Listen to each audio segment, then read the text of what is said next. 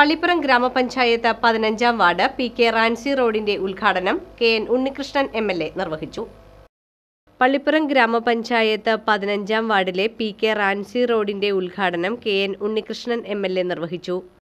കേരളത്തിൽ പണിയാൻ പോകുന്ന നിലവിലുള്ള എല്ലാ പാലത്തേക്കാളും ഉയരമുള്ള പാലമാണ് ഈ പണിയാൻ പോണത് ഒന്ന്. രണ്ട് അവിടെ മണ്ണടിയുന്നതിന്റെ ഭാഗമായി അവിടെ നീരൊഴുക്ക് സുഗമമാകാൻ വേണ്ടിയുള്ള ഡ്രഡ്ജിംഗ് വർക്കിന് മാത്രം ആ പദ്ധതിയിൽ അഞ്ചു കോടി രൂപ അതിനുവേണ്ടി മാറ്റിയിട്ടുണ്ട്. ഈ റോഡ് ഇപ്പോൾ പി ഡബ്ല്യു ഡിയുടെ ആണ്. ഈ പ്രവർത്തനത്തിന് വേണ്ടി ഉള്ള അതിന് കൈമാറ്റം ചെയ്യപ്പെട്ടു കഴിഞ്ഞാൽ അതിന്റെ പ്രവർത്തനങ്ങൾ ഉടനെ ആരംഭിക്കും. മുപ്പത്താറ് കോടി രൂപ നമ്മുടെ ഈ വാഹനാപകടങ്ങൾ കുറക്കുന്നതിന് വേണ്ടിയിട്ടുള്ള മാതൃകാ റോഡായി ഈ റോഡ് വികസിപ്പിക്കാൻ വേണ്ടിയിട്ടുള്ള കാര്യങ്ങൾ നടക്കാൻ പോവുകയാണ് നമ്മുടെ കേരളത്തിന്റെ വികസനവുമായി ബന്ധപ്പെട്ട് കേരളത്തിലെ എല്ലാ പഞ്ചായത്തുകളിലും ഇതുപോലുള്ള പ്രവർത്തനങ്ങൾ നടത്തുന്നതിന് നമ്മുടെ ഗവൺമെന്റ് ആത്മാർത്ഥമായി പരിശ്രമിച്ചുകൊണ്ടിരിക്കുകയാണ്. അതിന്റെ ഭാഗമായി നമ്മുടെ മണ്ഡലത്തിൽ തന്നെ വിവിധ വികസന പ്രവർത്തനങ്ങൾക്ക് ഞാൻ നേതൃത്വം കൊടുത്തുകൊണ്ടിരിക്കുകയാണ്. അപ്പോൾ നമ്മുടെ തീരദേശ റോഡിന്റെ പ്രവർത്തനം അതിവേഗം ഇപ്പോൾ അവിടെ നിന്ന് ആരംഭിച്ചിട്ടുണ്ട് മാലിപ്പുറത്ത് നിന്ന് ആരംഭിച്ചിട്ടുണ്ട്.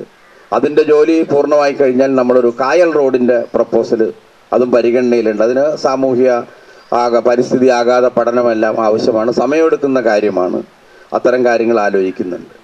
മറ്റൊന്ന് നമ്മുടെ ധാരാളം ഇടറോഡുകളുണ്ട് ആ ഇടറോഡുകളെല്ലാം നമ്മൾ നന്നാക്കാനും അതിനാവശ്യമായിട്ടുള്ള കാര്യങ്ങളുണ്ട്. ഇപ്പോൾ ഉടനെ തന്നെ ഒരു കോടി രൂപയുടെ ചില പ്രവർത്തനങ്ങൾ ആരംഭിക്കും. അതിനുള്ള ഫണ്ടുകളും കാര്യങ്ങളൊക്കെ വന്നിട്ടുണ്ട്.